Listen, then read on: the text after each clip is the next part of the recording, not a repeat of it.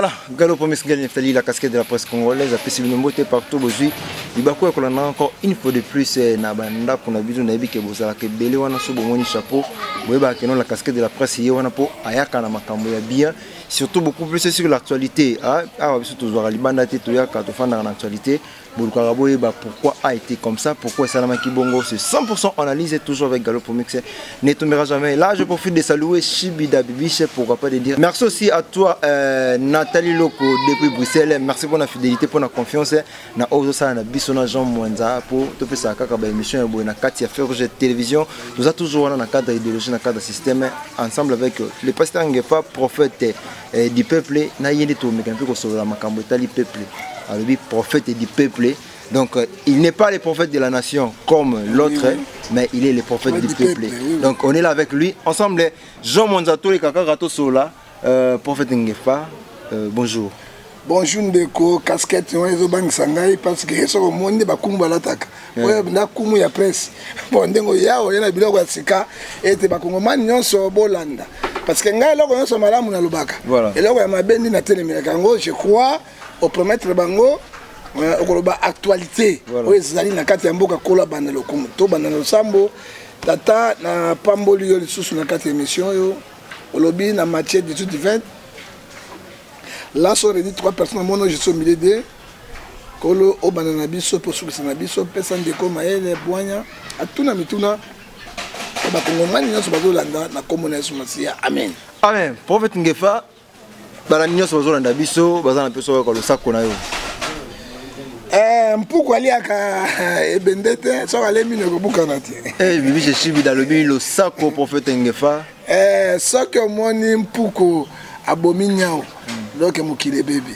e natali loko na bruxelles losako prophète ngefa alobi bangela nkema nkema ayangela etafe e jean mwanza le cameraman présidentiel prophète ngefa losako omwe ata mabe ya mobutu ateka kongo mokolo moko te brenda ndomba derbi le kasopo prophète ngefa losako e balobi ete na losako ata njoko atondaki na zamba mm. mais oyo babengi ekiri akimaki zamba te mpo na monene ya nzoko mama efrazi mabosele grace kazadi joel kazadi prophète ngefa losako cokolilo mokonzi tosuka wana merci on est là bokompaka c'est bel et bien l'introduction de notre émission ebandaka bongo avec euh, les prophètes du peuple prophète ngefa prophète ngefa le prophète du peuple tomesana na prophète de la nation yo oyeli biso prophète du peuple par là message nini eza na kati wana non prophète de la nation eya bakombo oyo basali na nzambe baza komemaka yango mpo na kosepelisa bato voilà.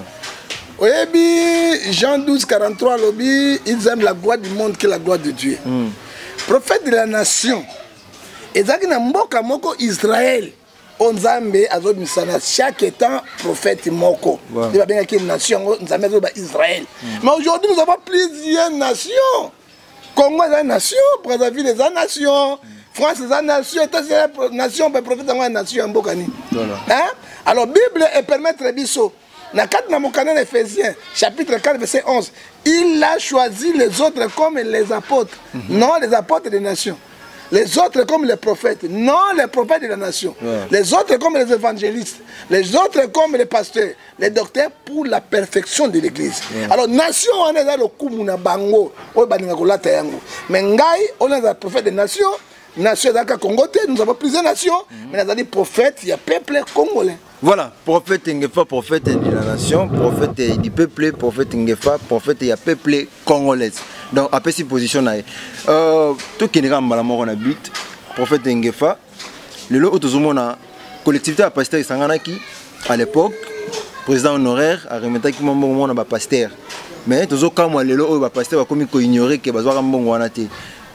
part na yo na likanisi wana nayebi te eza nini ndeko bazali digne te bazala basali na nzambe mm -hmm. Parce que le père des mensonges, c'est le diable. Et le binabiso na Jean 8, 44. Ce qui n'a jamais vu, le pasteur Bazouanga na Kabila. Et ça, il va passer à l'Union Soté, il y a 12. na moko kijami lokola 13 mapote voilà. oyo bazalaki na accès libre ya kolia mbongo ya kabila mbongo yango kabila azopesa bango ndenge nini bazokosa na baprofesi ya lokuta mm. lokola jérémi 14 pese 13 a 14 eh? bazali koleka na nzela ya paster theodo mugalu oyo azalaki chef ya maison civile mpona mm. kopona kabila mpe komona mama olive voilà. baeglise oyo batongi bandako oyo batongi bambongo baza nango bazwaki eglise te ndeko na ngai eza kabila moto ezopesa bango alors bazangi meme bazali irreconnaissant meme connaissance lo mosusu oyonga na kabila ngai nazokamwa mais kabila akei te kabila na tshisekedi te c'est qu'il oublie hein coalition de yotambusa mboka te ntango bini owanga na kabila mais owanga na tshisekedi boye hein papa ntango alaki likambo oyo combien de fois tokaboli mbongo epai ya mukuna voilà. euti na présidence ya république na biro ya mukuna oyo tosali bareno kome mbongo kabila apesa bango ba eh, eh, eh, me église oyo batosalaki na stade o trois fois mbongo eutaki wana mais mukuna atikali koreconnaitre yango lisusu ta mukuna koreconnaitre yango ndenge ni mbongo ebekabonaka epa mukuna te ntango denis alobi denis obanga masolo Denis prophète Denis akosi te. Mhm. Hein? Denis ça va makama solo. Hein? Koloba na Kidiamine. Na ba na ba na ba nani wana. Kidiamine pena zalaki zalaki te na mona ke mingi te. Parce que ngana zalaki pe parmi bato wana bazo kende. Menga liembongo te. Non, non, na bangaki na mona ki mbongo mabe, pe ezo souffrir. nakolia mbongo ya ndenge te parce que ezanga akala kaka mais tout à l'heure là vous venez de dire que robo ndo kendo kabula mbongo pa ya évêque mukuna mais ndenge no lobisi biso que non ozwaki otikala kolia mbongo wana te yo ko ngana so biso vérité soki naliaki ata mbongo ya, ya kabila ata 1000 dollars ata 5000 dollars mais kabila azopesa yango ba 250000 dollars na moto moko 500000 mbala na moto moko hein kabila azopesa yango na mongo livi boye hein ça c'est la réalité ba pasteur ya lokuta baza dini nzambe ngango ba pasteur ya nzambe voilà hein soki olie meme un frère moto ndimi oliaki un frère na ye mhm. pour que kokosela yango meme kabila akufi te kabila azali euh, euh, pasteur jodo mogalo akufi te mhm. azali wana akoki koloba verité hein oyo bazo sala bango so eza pasi pe lokuta papa ba china kabila na ndenge nyonso nani apesa kabila eh, prophétie ka 150 ans kuta 132 ans ya eh, pasa église de réveil non ezala katholike alia mbongo ya kabila ezala église de réveil ezala protestant bango tout kabila apesaki bango mbongo kibangise c'est kabila oki bawangana te sikoyo ya biso eglise na lebai mabe nango nini bazokende na nkombo ya poloso toa na bapasteur mhm. tokobundisa katholike bakosala eloko te parce que toa na même personnel juridique na katholike mhm. toa na même personnel juridique na protestant ndenge mona eglise reveil wana bozali pied d'égalité kabila asopela bango mbongo bake na nkombo ya bapasteur yango moni matie 7 16 olobi tokoyeba bango na misala na bango ya lokuta mais soki bakomi bakosangisa 10 000 passer tosangisaki 10 000 passer paseka toke na arche de noue combien bambongo bango koya combien mbongo ebimi combien bazwi bilili bapanzi kabila ezoba o oh, bato nanga or ke non soki basilisi bakokɔta 12 personnes bakokabola mbongo wana bamota moko grave tozalaki epa mokuna awa tozalaki na mokuna teyaka hmm. tozalaki na ezibia mampia tozalaki na denis lesi hmm. tozalaki na soni kafuta presque bango nyonso 12 apotre sauf kijamina après avoir kofinga catholique kotelemela bango tokosala boye mosengo ana eloko moko te mais babosanaki ete lelo sokomi na ternance oyo mosengo azalaki mpe pion moko nécessaire ozomona nsima yango basalaki nini bakote na bilo mokili babengeli bapaster nyonso 101 franc mhm.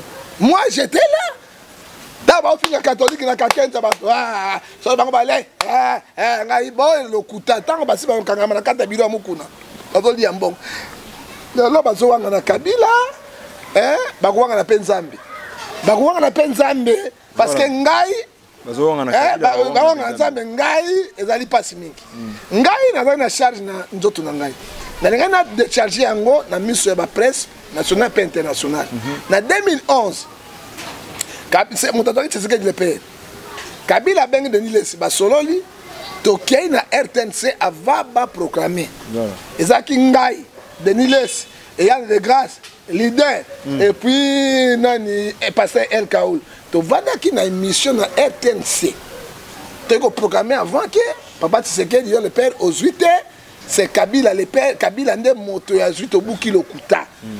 ozomona or ke bakende kozwa mboka epa kabila baliaki biso toliaki te alors ntango nga navandi nakotikala na likambo ya monene ya lokuta eh, oyo nakosaki peuple te nasengi peuple pardon eh, esali ngai nini nasengi peuple pardon nasalaki yango nayebaki te mpe naliaki ta infran te to pronosaki yango na une heure du matin na rtnc eh, esali nini ozomona moto aleki mbongo na bango ye mosusu biso mpe kwa bazoba na bango toleki kokosela peuple congolais likambo orge tshisekedi pere moto azwaki eyaki kabila te ngana na mikitisi mais kowangana oyo bazo kowangana wana papa eza maye mpe mbala nsima na kobimisa bino moko moko na bamotantu bomandaki kozwa kokosa peuple ya nzambe bapastere ya nzambe eza mawa mingi kabila azosombela pastere baserkeye kabila azosomba pasteur akufi boye azosala matanga bakende kuna kosa pasteur akufi boye na kabila donne l'argent kabila akei boye oyo oh, lopango na ngai balingi obotola yango bato bazwanga na kabila nakoyebisa bapeuple bayeba makambo na bino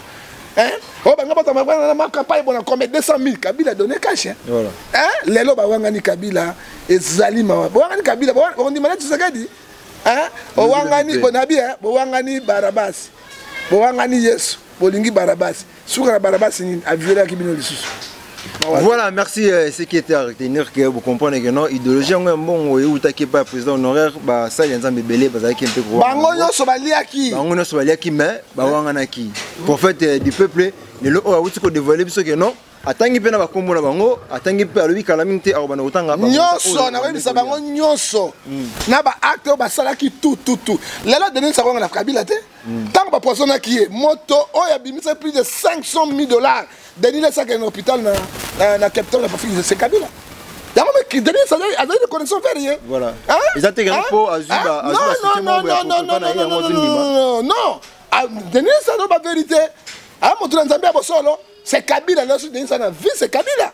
mm. et kabila na mama olive ba sauver ba pasteur combien hein lelo bazo wanga na ye boko wanga na tizeli dikela boye tizeli ba pesa bino eloko te pa na mbongo na mikolo te hein oh bon boli boli boli na lokuta na bino na ba prière na bino ya lokuta na kobimisa bino mbala nsima Voilà, mais dans tout ça, dans tout ça, qu'est-ce qu'il faut retenir euh, Bon, vous n'avez pas un président honoraire, après ça, qui va passer, va passer, va lier, qui va bongi lobby, le lobby, wangani, président honoraire.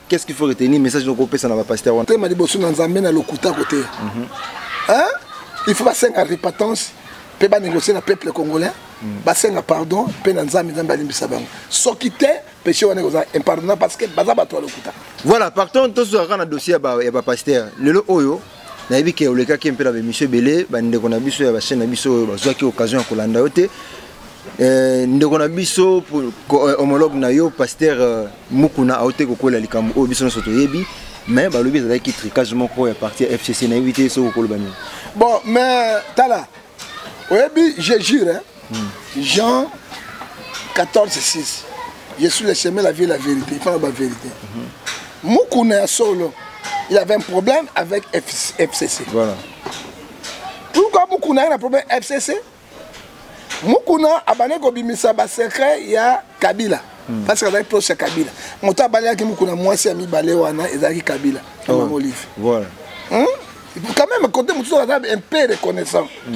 eh, tolobi te ke soki tolobi boto ondimela kabila non tozala un peu reconnaissant ke dit la bible monsieur matie 10 40 40 oyo apesi yo ata mai ya pamba ya malili omeli pesa ye merci mpe kumisa nzambe me motu asaleli yo tout na vie eta ede asali nyonso lelo akomi enemi na yo voilà. hein? yango omoni soni alobaka te likambo ya kabila hein? yango omoni denines aloba likambo ya kabila te mm. omoni docteur ngalas aloba likambo ya kabila te mm. edibama mpe aloba likambo ya kabila te eh, baza wana ebele oyo batanga komba kabila te bayebi okabila asala bango na mamolivi voilà. eh?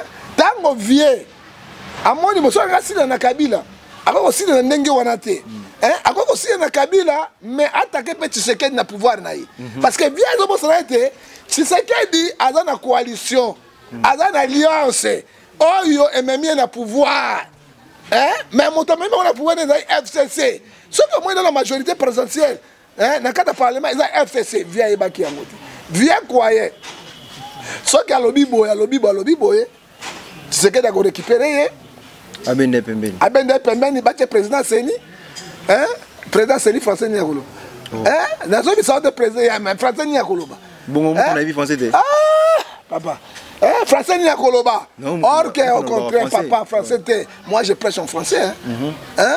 L'interprète en euh, lingala parce que mon okoto que les moukouna tang atteint les États-Unis en lingala, atteint la France en lingala, mm -hmm. interprète attention, mais il faut oyer ba langue moko internationale anglais ou français ou ko lobelo mokili mobimba. Mhm. Hein? Ozo na ngai, c'est très important dans la vie. Il faut ba langue moko. Ozo mona, hein? Eh, bosanaki ete baza na coalition ntango ya otake kabila il atake directement tshisekedi mais yaka mazi makambo ya oyo tobenga tribalisme ngai naza muluba bakusala nga nton ngai naza muluba bakusala nga nton soki bamiki tuki naza bango na kayasi mm. azobosana ete baza na majorité parlementaire te azobosana yango tala lelo tosuki wapi etango kabila ministre ya justice ya nani ya kabila mm. mokuna akoti boloko mpo na kabila afundi ye te oubien fcc te fcc na memi dossier hein ndopango wana oyo oh, mukuna koti boloko combien de bateau bayebisaki ye est ce que euh, pasteur excusez éclaircir d'abord opinion est ce que likambo ya video wana ezalaki vrai ou eza montage mais likambo ya video vrai ou montage mais ntango basambaki mwasi ayaki te ndenge nde bakutaki mukuna na na nini oyo mwasi wana alobaki hmm. mwasi alobaki alanda tatouage moko awa mais ministère public atuni abi oui nazalaki ancien boxeur na na tatouage otango ngai alati elamba boye yo omoni sengle na ngai tokoyeba tatouage ya ndenge voilà déjà c'est l'information vrai ata bowangani video non nous refusons video mm. toboyi video mais acte oyo asambaki wana mokona ya bini nakosamba lisusu te mm. soki bobonga boboma ngai parce que ministère public atuni abi mais mwasi alabaki na tatouage awa alati vese elamba donc moto ya moni yo na sengle te na oyo te akoyi bango nini e mokolo ayebisi bango vula alakisi bango nazalaki ancien boxeur et tatouage ezali peut-être la fille amona yango kala baseka aza kobunda boxe omona yango nde mwana mwasi ya mwana moke mokuna moto akala mokuna moto ya lelo c'est ça mm. hein? mame bagenu alobi ngai jour nalakisi genu boye genu na ngai yango ou elle est mal hein? genu na sango genu nalakisi genu boye sikoyo eloko nini ya grave nakwesi bato nini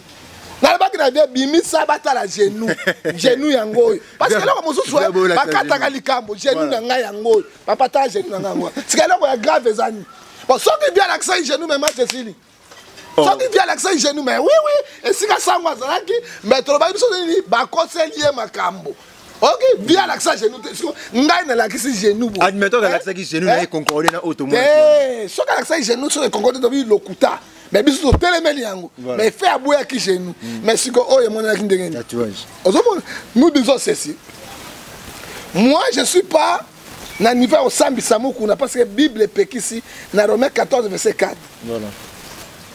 apesi prérogative na romain 13 verset 4 bajuzi basamba mm.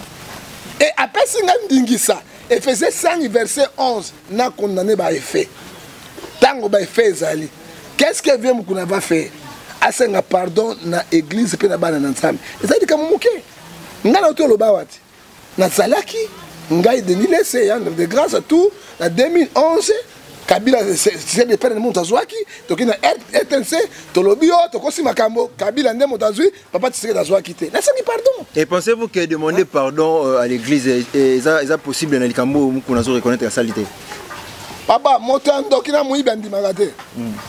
hein mwasi te bakangi na hotel mpe andimi mpe bakomaka yango na elongi te hein awa ebola asanga epreuve ebola asanga epreuve mais akotaki na hotel ya solo hmm. asalaki mpe nyomititi oyoki ntango asali nyomititi akondima te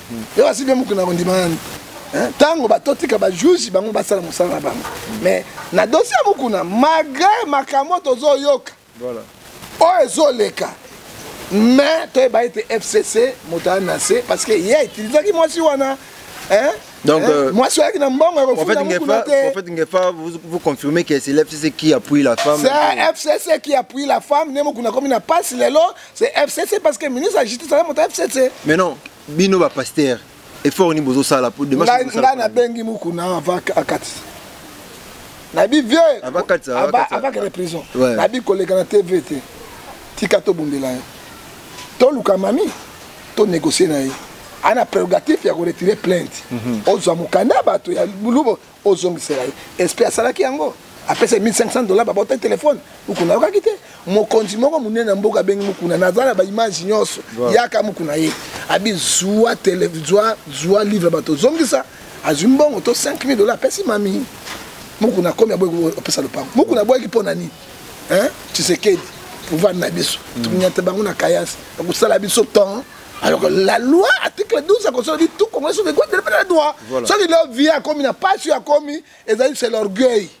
Hein? Ngai na bengi mukuna katanga téléphone étant, mais motako lobela mukuna makasi, ma kondiba au casse moi. Hmm? hmm? Mais mukuna katanga téléphone bon, yango jusqu'alors na yota la été. Na kokende. Na ba pas mon semi, c'est mal que n'est pas mukuna. Akatanga téléphone n'est pas ayebaki oser 4 mon peuple ba mal connaissance. Voilà. Ozomona via l'attaque akamataki orgueil atombalaki ati nango bakosala ngai eloko te abosanaki ete pays moto ozomema yango ezali kabila mpe azali majorité majorité eh, parlementaire voilà prophète ngefa vous accusez l'fcc euh, d'avoir euh, influencer la femme pour le dossier mais nakize te nabi mami akendeki wapi ok siko tolobakendeki epai eh, il faut dire la vérité non non non zela nayebisa yo akendeki wapi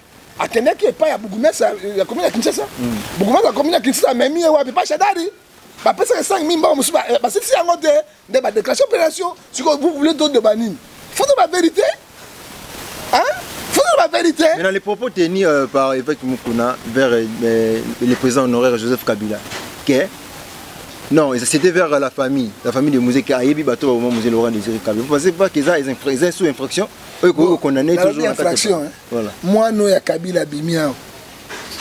Tokomona nani nani oyo. O Aden. O ngai mwana Kabila ayi bango te. Hein? Bandeko ya ye. Babi bayi mwana wana te. Mwana pe ayi bango te. Basai mwana ngoni. Papa, celui qui veut tuer son chien, il a qui des rage. Attention! Mm -hmm. hein? Parce qu'il a bimi awa. Muku na baki mwa problème na yebi. Oui, na yebi. Hein? Aba verbalement. Mais mwana abimi na télévision, abito sangi ba Aden.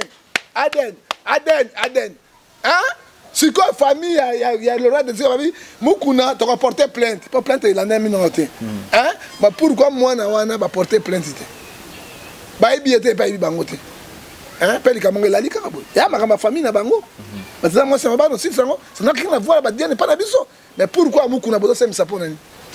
Bozo semisa Mukuna pona nini? Outrage pena munene ndo ya sali wana mais rien. Mukuna na pasi, mwana alfa libanda. Mais tokolo beloko ni.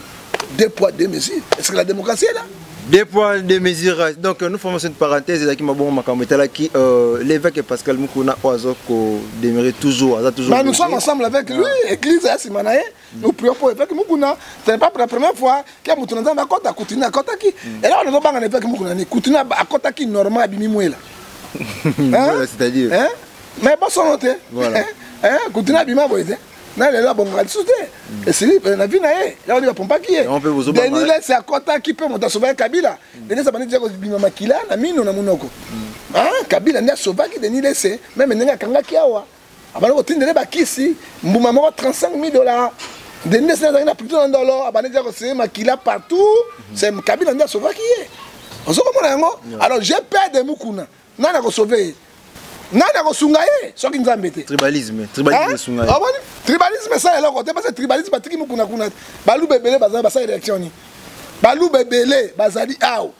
basali mpo na nini na ndeko na bango mukuna te azosamba sel mutu te wapi baluba oyo ya mamoto na banani batondaka eh, wapi eh?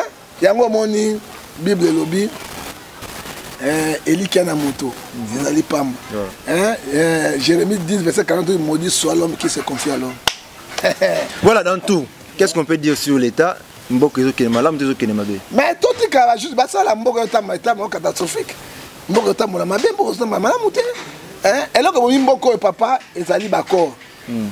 bakor esika basinyaka biso tozalaka te bakor ememi mboka na pelengendu na poloso na isolo eh, tokenda moboleya bakoro yango totunaka papa akoro yango ya mutu ya moto balia liso ya mutu totunaka papa mokuna mpe akufeli kaka makambo ya bakoro oyo so totunaka bakoro yango bosinya nini oyo akoki kokombaka peuple siko parlement mpe ezali représentant ya peuple bokende na bacor yango na parlement totanga toyeba kaka bacor o oh, bacontrat bacontrat yango nini boteka mboka contrat nini après 5 ans bodi mboka boteka yango na barwandais na burundi kongo ekei toka kaka bacor bacor toyeba eloko basinya te mm. basolola nini ah nzambe esunga kongo hein. évangile selon moto na moto évangile selon euh, prophète ngefa lelo tokoloba nini selon prophète ngefa mboka ezotambwisama na mboka nani fcc nde azotambusa mboka hmm. parce que bango bazali majorité parlementaire bazali majorité sénatoriale bazali majorité na gouvernement hmm. bazali majorité na gouvernement provision c'est fcc nde patron ya mboka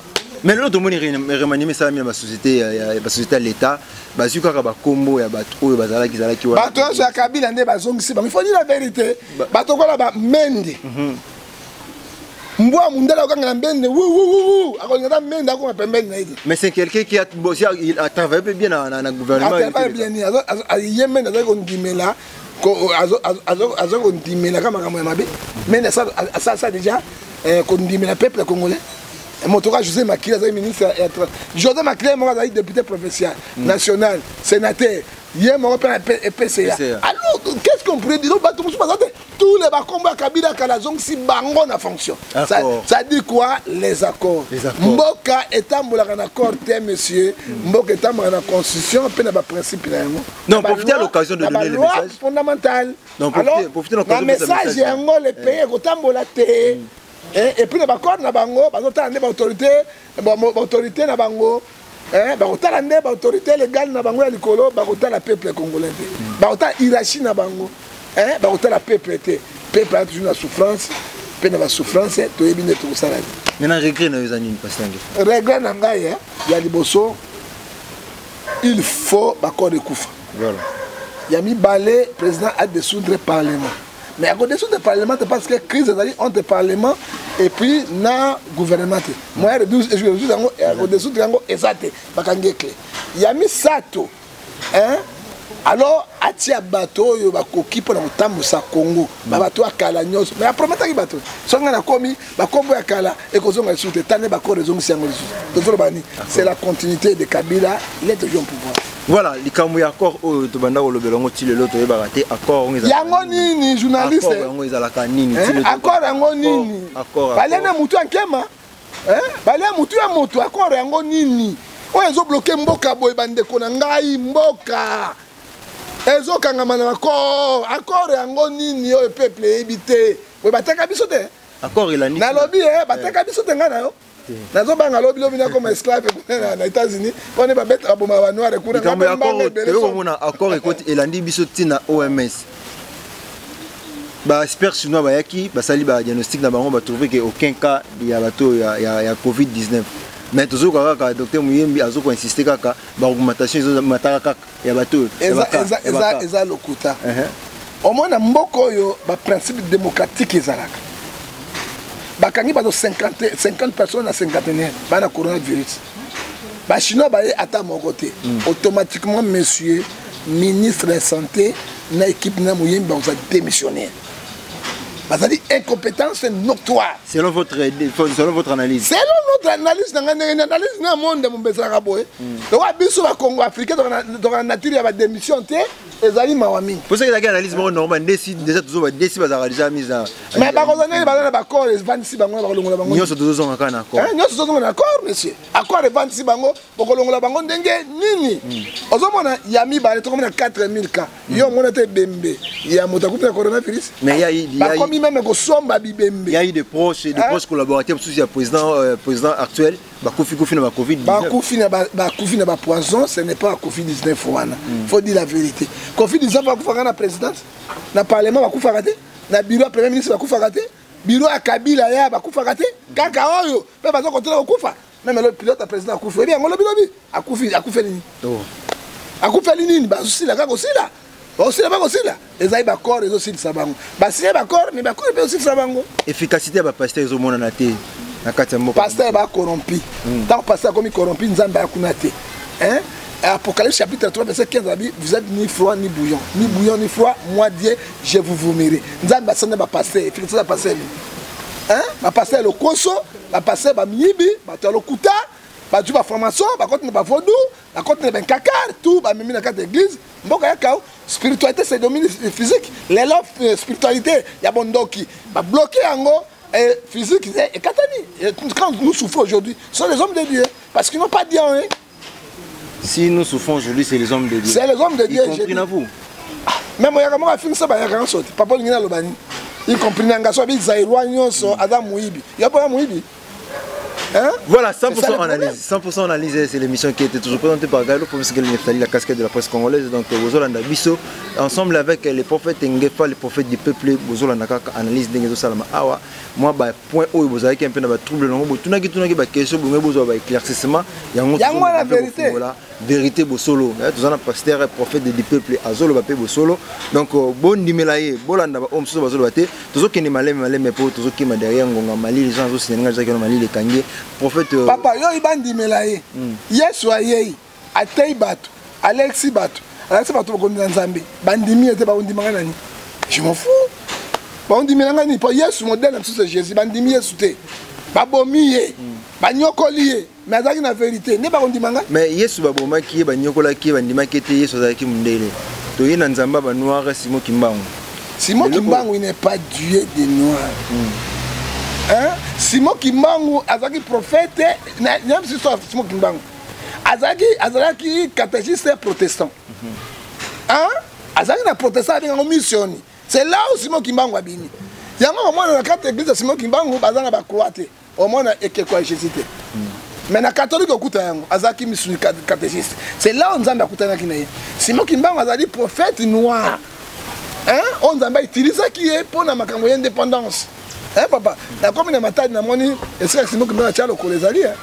namoni yango wa eh. eh? kende na boloko batie na lumbashi omona bafem apepe ndenge jésus asalaki mais de dire simo kimbango faisait le miracle au nom de jésus christ écrise euh, euh, kimbakise euh, nini ya congo bakoma koma christianisme et puis simo kimbango wana ozomona azalaki na bible oyo ya ba protestant ça c'est pas bible catholique c'est protestant azalaki na yango mais mpona kolobaki azalaki nzambe ya banoir azalaki jamais nzambe c'est un messager c'est un messager ya nzambe c'est un prophète de l'internet yesu azalaki nzambe ya banoir soko banini mohamed euh, mohamed azalaki nzambe ya bamusulman non c'est un prophète Maintenant, où est passé euh, Né Mwanasemi Mwanasemi Na actualité, Azali Souté. Té, Mwanasemi, Ndeko, Otuni Motune Malamu, omoni bamwana nsemi bazali bavaleur moko oyo tokoki kotika yango te aza valeur mwana nsemi azali valeur tika ngai naloba te soki oboyi oboyi demokrasi ya deba lide azali valeur traditionnelle et pourquoi eh? bakonzi ya mboka bazo reconnaître valeur na ye simo kimbango bacomprenaki ye nani batiaki na boloko kuna complicité banoir na bamindele no na nabomaki simo kimbango c'était le noir avec le blanc parce que bamonaki na ye bonzambe ezalaki eh, lokola monasemi azali valeur moko traditionnelle bavaleur wana il faut tobatela yango eh, toyoka simo kimbangu ozotanga lelo omona ye te eh, toyoka eh, liyanja tomona liyanja te mais lelo biso tozwi chance ya komona mwanasemi oyo leader charismatique ya noir oyo azopresente valeur ya banoir eh, ya mboka na biso aza moto ya kosoutenir ye tokoki koboma ye te bokoki kosasine ye te parce qu'il a quelque chose de dire tomonaki eh, eh, valeur traditionnel pouvoir traditionnel ntango covid 19 ekomi ya mwana sema abimaki azobengana baesprit omonaki yango lelo eske na kinshasa ese corona efrappe non ezolisa baye na pouvoir mo nzambe apesi bango ya traduction mpo na kodefendre mpe ekolo wana alors mwana semi ne pas seulement mpo bakongo soki alobaka mingi na kikongo parce qu'il est mokongo aza kovalorize monoko na ye mhm. mwana seme azali lokola simo kimbango balobaka ye na mbandaka balobaka na ye na kiswahili balobaka na ye na beni partout eza kola mwana semi mhm. soki omoni baliloko mana soki odeklare yango eza mpona libération ya congo mais eh, simo kimbango adeklare ni indépendance mhm. libération ya congo mwana semi akomi na nzela wana ce sont les valeurs lelo tokoboma ye akokende tokotia bisika ya mpasi mais bato mosusu bakozwa chance nango te baprotegeaka euh, patrimoine wana mwana esala bazali patrimoine national on va le protéger nakomi biso eloko moko parmi baprésident nyonso ya afrique ya, ya france le plus grand président c'est chirac mais tala ndenge chirac akufaki bakokuna ye wapi na kati ya cimetière familial ni baprésident ni quoi ni basoda ye moko kaka na famille eh, ya, ya, ya, na, na, na cimetière familial pourquoi traduction hmm. na bango azalaki valeur azalaki bavalorisaki ye culture na bango hmm. azalaki na valeur moko kovalorize culture na bango hmm. olie bato baganga c'est comme le monasemi il est vivant c'est un monument hein? monument il faut toprotege yango yango nalobaki monsieur Nakoki kozala preuve, vous m'appelez, tokota nazwi so nazwi essence, tokei kotala ye esika azali awa na SNPP mpe tokosula na ye. Mais siko batie na SNPP pour quel cause? Balobi aza na liboma mais aza na liboma te. Mm. Mais Yesu mpe alobaki ti. Mm. Hein, Galate 6:16 à cause de la vérité je suis devenu votre ennemi fou. Mm-hmm. Hein? Aza na liboma te. azali ne normal ezali maboloko mo batie ye parce que moye batie na makala te bazobanga kobuka makala mais non hein? message message clé oyo kopesa na baautorité ya mboka na biso oyo bazoniokola molimo ya ne mwana ntemi parce que ezo reconnaître valeur ya mwana ntemi non aza valeur azali incarnation sikopesa azali moto azobimisa message chef de l'état en tant que gala de nation bato ndenge babenga yango baphénomène mm. toyoka basimo kimbangu toyoka bapapa oyo nani lianja mais tomona bango te mm. tovivre na mwana seni moi-même en question je vais aller le voir donc nakotala ye e tosengela chef de l'état ata bapolisier naye bayibaki biloko nzambe alimbisa bango me bakozwa conséquence bapouvoir traditionnel mais bobongisa ndako na ye bozwa mwana semi botika ye parce que un papa de 85 atikala mikolo ebele akokufa te akufela maboko na bino te ekozala mal chance lelo mobutu akufi azongi na mboka te lelo sikoyo kongo ezotambola ndenge nini ezotambola ndenge nini alors bogarde monument wana quelques jours oyo atikali na vie acontinue vie na ye mais tokokomaka mwana semi na kati ya bahistoire na biso parce que azali valeur azali valeur ya, ya congo démocratique hein? alors toko néglige valeur wana aza vivant te simo kimbango na vie bayebaki ye te ntango akufi bakomi balivre seko histoire ya mwana semi c'est le moment totelema totala ye toyeba eloko nini tokosala na mbuta ya mutu mwana semi voilà merci c'est le moment totelema totala ye toyeba eloko nini tokosala na mbuta ya mutu mwana ntemi parce que aza valeur prophète du peuple azo reconnaître valeur ya mwana na reconnaître ye bino bakonzi ya mboka mpe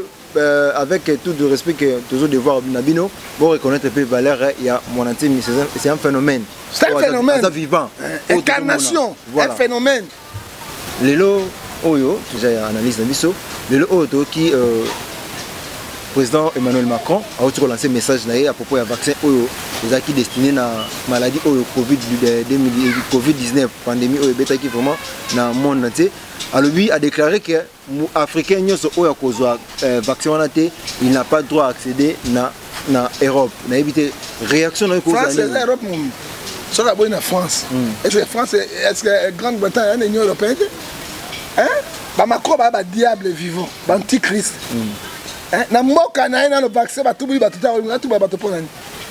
Et puis, tomoni l'avion belge et l'Union européenne, na ba na ba vaccin yango vaccin ba to ebandi na gombe ba kotobola nani mission ni baza na yango hmm. parce que muyembe nous a promis 7e mois ba vaccin ko ya essai essai yango biso ba cobaye biso ba mbwa bantaba ekosimba te soki macron alobi tokota na europe te manfu angola ezali brazzaville ezali bape eh, afrique du sud ezali tokozala biso mongo na afrique tokozala yoko europe ezali poto te parce que pourquoi bakobanda yango na italie te baobanda yango na kati ya chine esika ebandaki te pourkui kaka na afrique surtout na congo démocratique awa ezali mboka ya poulaye to mboka oyo basaka bese biloko nyonso to ezali mboko nzambe asali biso na biso bakongolai tokondima yango te eh. so tokende poto te bafanda na poto na bango e la promesse de docteur muyembi e la décision de emmanuel macron nayebi te motu nini tokokondane beaucoup plus moyembi akabi mboka mpo akozela mbongo 1 hmm. timothée chapitre 6 verset 10 mbongo union européen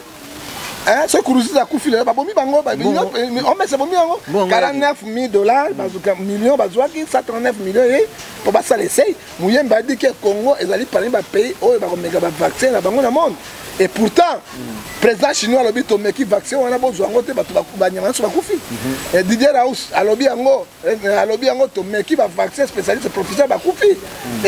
oyo oh, nani président obama alobi baafricain bozwa yango te pourquoi kaka précipitation na congo babenga yango na ghana babenga na afrique du sud pourquoi na congo congo eza pula ye poubele ya mortalité ya bato non romain 8 31 si bien pour nous qui se raconter somme 34 verset 20 de malin atatu juste nzambe akokangolaka biso kaka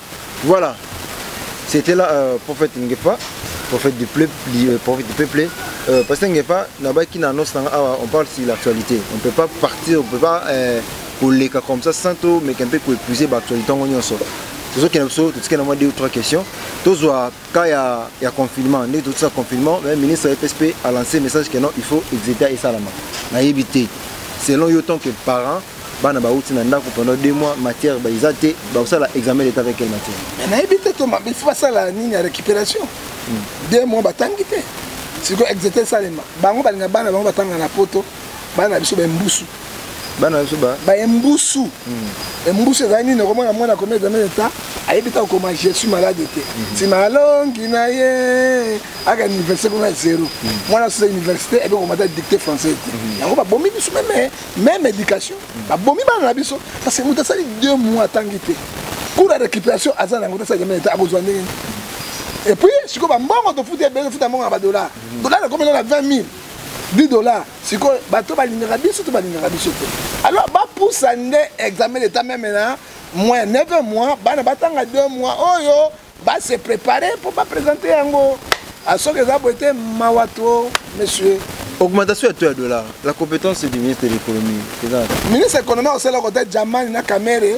na baoyo bazwi mbongo tu bakei na yango subation oyo ba réserve monétaire kabila atikaki réserve monétaire na mm. banque centrale ebele mais oyo ya bango etikata infrontex lelo mpe tozomona budget ya mboka mpe ezobouge nalobi dollar ekosala nini dollar eh, eh, franc congolais ekobeba kaka kobeba parce que ministre économie azali magicien ya kosala eloko moko te gouverneur ya banke akosala eloko moko te basubasiment eh, bareserve monétaire eza te jamani kamere amida na bato idps na bango moko baprésident bazwi bambongo na bango alors mbongo eloko moko ekosimba yango te tokamwa te ke 10 dollars ekokoma na 25 000 30 000 donc eh, yele santale bino nde bakundo tokobolololo voilà c'est déjà la fin de notre émission de notre analyse eh. dernière pension nao mpona procès 100 jours 100 jours eza procès moko ya distraction mhm. eloko mosalema te camere sera condamné mais akozala ministre par président parce que pression internationale ya bachef d'état ya corps ezoloba déjà mhm.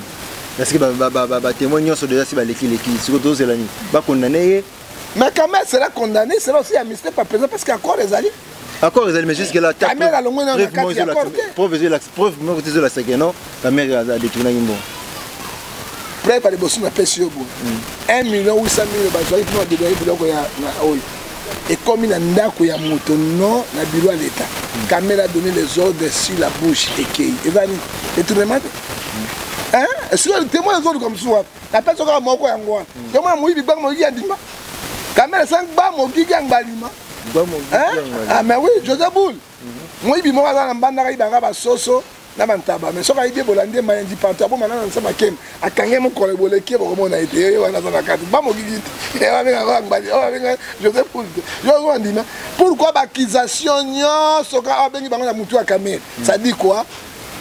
soki omoni mwana soso atondi nzungu mama aza na kati il est là mais il est très intelligent accord ye balukela ye te eh, non non non non accord ye balukela ye te mais aza toujours na accord namonaka badirecteur ofida mhm. eh, bazwaka bambongo eh, badétruire mbongo sans omona batrace mhm. verbalement mhm.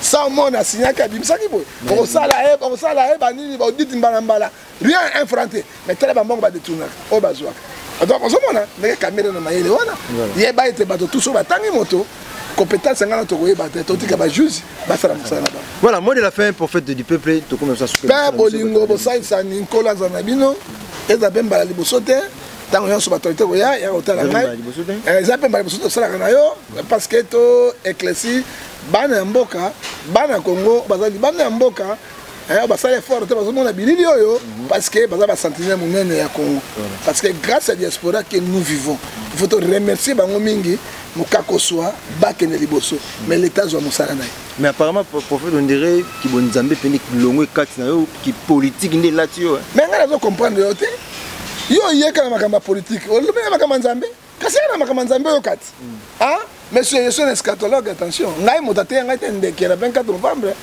naza phénomène ju mosolo na biso solo na ngai kokamwa ngai bible oyo nalala batianga na motu moto aprendre ngai te nazali parmi ba grand chege awa na 24 novembre hmm. maître john oka maître john c'est moi dieu m'appele oh, ok mais dieu m'appele attention connaissance na ye nango okasa te ke euti boye te c'est l'inspiration de dieu hmm. meme un politicien akoyeba yango te eloko na bimisi bato nani meme badeba bosalaka trois elemi niye ba lelo bagouverne mboka eloko nini ekosala moyibi bayibi diama ya monene bayibi misato bakomi na zamba butu lobi na ntongo tobima to bateka yango bazwi diama batye liboso balali oyo akolala te oyo akolala te mpo bana confiance na bango misato te c'est comme le congo ozomona baoyaki ennemi lobi idps inc et puis tokamati ni fcc bagrands ennemis mortel basangani mpo bamema mboka conclusion yango mboka ezali kao je ne suis pas un politicien mhm. nazali nde prophète ya nzambe il faut dire la vérité soki oyeli ngai na bible papa nayebi ata 650 verset biblique na motu nalobi oui oui nayebisi yo un politicien avenir te Moise Katumbi Mututu abundaki na partai akomaki ministre te mm. aza lelo na Afrique du Sud akufa te monument Martin Luther King abundaki na eh, ya ba noir Mandela bimi président akufa histoire etikali mpo pourquoi nous tous être politiciens mm-hmm. non Eh, soki oyebi ngai makambo ya nzambe nakokende makambo ya nzambe oyebi ngai makambo ya politike nakokende makambo ya politike oyo soki okorepondre yango naoloba okoti mingi na politike mais soki meme olingi osala politike te mais politike ya mboka ezosatrape yo ntango mboka ezotambola te pasi hein ba famille mosusu balambi biloko bilia ebeli mwa bana mikolo o oh, bilia yango oyo boluka fufu aloluka fufu wapi alobaki makembe ti hein sika akozwa fufu wapi obomi bana hein o oh, ti eza te ti mpo ya mikolo mpo na luka mpo na luka mapa libanda bakosala nini ozomona il faut koloba Il faut koloba koloba. Moi, je suis un homme de Dieu, je ne suis pas politicien. Je reste dans la casquette il y, a, y a homme de Dieu, voilà. comme ministre de Nzambé. Oyo mituna na yo biyano na ngai. Oyo nyoso wana nango, je vais parler de la part du Seigneur. Voilà, merci homme de Dieu. Mon numéro contact na bato nyoso bazana. Numéro na nga contact pour la prière, mon tala problème spirituel au benga ngai. Mm. na kiko bonne la pona bino. Je me suis ba signe bondoki, ba signe na ko expliquer bino bien bien pour bana nzambe ba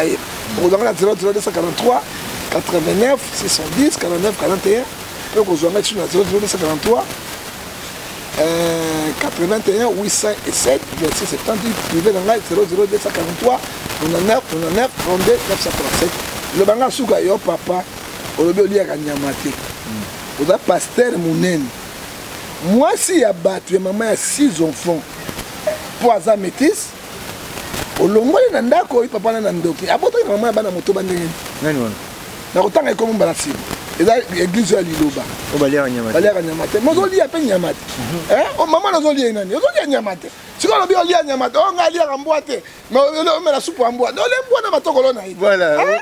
ozomona zambo ezaliaka dongo dongo te mende supa dongo aliaka dongo dongo dongo ole dongo dongo Eh, pe okosa koliaka nyama te papa ozolia nyama tika nyama ya bato akende papa mbala nsima nakoki kosoni te na nkombo na yesu mm. nakoyebisa yo mpo te bajusi bazwa likambo oyo mhm. e tokende kolia biso tovungule na kati ya makala parce que basali na nzambe basambwisi bato basali na nzambe papa soni moko ezoleka babenga paster eza kola bazobenga kola nini motua eh, tobongola bisaleli na biso eza mbala mingi oyo te kata nyama wana oliaka te kolia mpe nyama ya nzoto te eh, pasi oliaka nyama ya nzoto olia mpe nyama ya molimo kata yango mpo mbala nsima nyama wana ekangama na kingo merci nous sommes arrivés à la fin de notre émission c'était la galop musicale neftali et le pasteur moi ba ba salutation tena de confiner me confiner mon akani ah, ok merci euh, nous sommes arrivés à la fin de notre émission c'était la 100% analyse avec galop musicale neftali la casquette de la presse congolaise sur Bojiba ba réponse na mituna na bino nyonso bonde komituna ba détail mpe na makambo oyo bonde kompe komona flou esengelaki bongo toyamba prophète du peuple prophète ngefa mpo ameka mpe koexplike biso na kati ya bozindo mpo azali moko ya bato oyo balobaka bosolo babangaka te ata otie mondoki aza prêt obeta lisasi akufa na ye soki mpo olakisi nzela ya prison aza prêt makambo te eza nzela ya moto nyonso voilà nzela ya moto epuis yebisa bato mhm.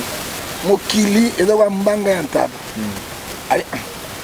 lelo ya ye lobi ya ye mpe mhm. yebisa mpe bato susu mokili ezoko mapumbu ya taba ebeti nganganga yebisa bango mpo bino tuka prison prison prison ya nzela moto nyonso liwa nzela moto nyonso kuruzuza akufa te oh. nabi kuruzuza akufa te akufi te eh, eh, kosaka te toloba nde verité fo toloba ah, verité sikonga balingala nini sikola bana français le monde est comme le testicule eh, de chef yango ngoloba yango parce que bino français nde bieso abina lingala bomona yango kaka mabe ah, mais yango nalabisi bino ti parce bino obangaka prison prison non il faut dire la vérité tokokangola mboka na vérité tokangola mboka na bomo te nakobanga te ekosimba te oyoki eh, prison eza nzela ya moto nyonso Eh, liwa mpe eza nzela ya moto nyonso voilà soki natomi maboko boye napansaka na ye mei bando kokosa nga mpe natalaka moko tosalaka na ye mosala moko oyo asalaka mosala na ya ndenge esengeli eh, ndeko na biso ya bosolo na politike ndeko na biso mbote bisika oyo ezwami yo totikali na mikolo kasi nani atie mokolo na mpasi otoma maboko atoma ya mokolo atika biso papa na biso biloko wana yende atei mukuna na pasi yakotemisa mukuna makasi yakotemisa mukuna epuis aza sango te c'est un branamiste baruti tala mwana na yo oh.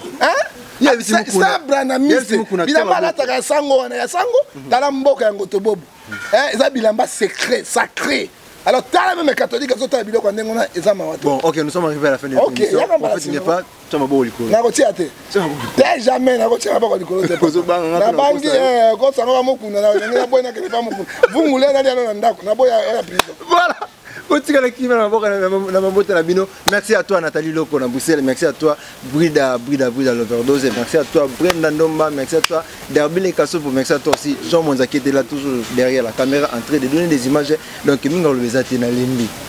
Eh, bokamwa tende na seki, place ya koseka esengaka faut toseka donc.